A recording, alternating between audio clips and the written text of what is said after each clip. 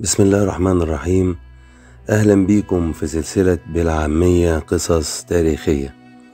في سلسلة بالعامية قصص تاريخية هنتكلم عن مجموعة من القصص التاريخية باللغة العامية واللون ده يعتبر فريد من نوعه في قنوات اليوتيوب لأن معظم القصص التاريخية اللي بيتم تقديمها بيتم تقديمها باللغة العربية الفصحى. فكرنا في السلسلة دي إن إحنا نقدم مجموعة من القصص التاريخية باللغة العامية عشان تكون أقرب للناس وأقرب للغة الناس.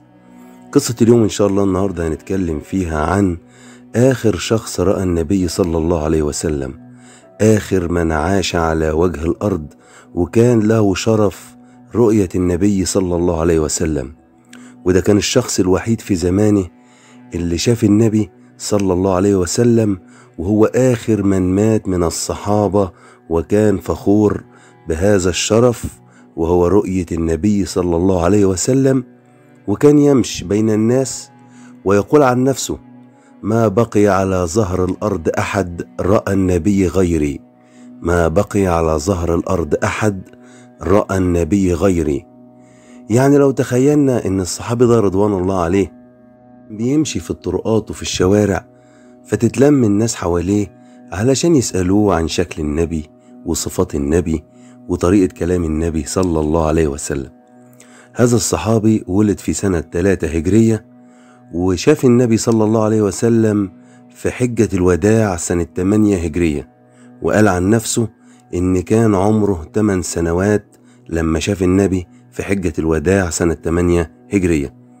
وكان الصحابي ده سيد من سادات قومه وكان بيتصف صفات كتيرة جدا منها إن هو كان عاقل وكان حاضر الجواب وكان فصيح وكان شاعر وكان بيعيش الصحابي ده بالكوفة لأنه كان من أتباع سيدنا علي بن أبي طالب رضي الله عنه.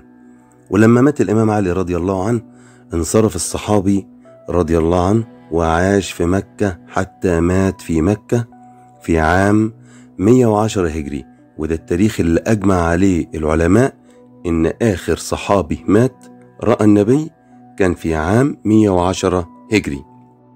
الصحابي ده اسمه إيه؟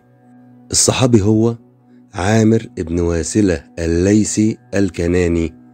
عامر ابن واسلة الليثي الكناني رضي الله عنه وكان يسمى أبا الطفيل.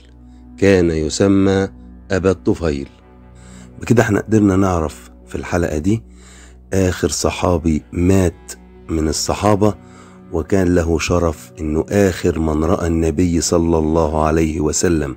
آخر شخص عاش على وجه الأرض شاف النبي صلى الله عليه وسلم. وبكده نكون وصلنا لنهاية القصة. انتظرونا في قصة جديدة في سلسلة بالعامية قصص تاريخية.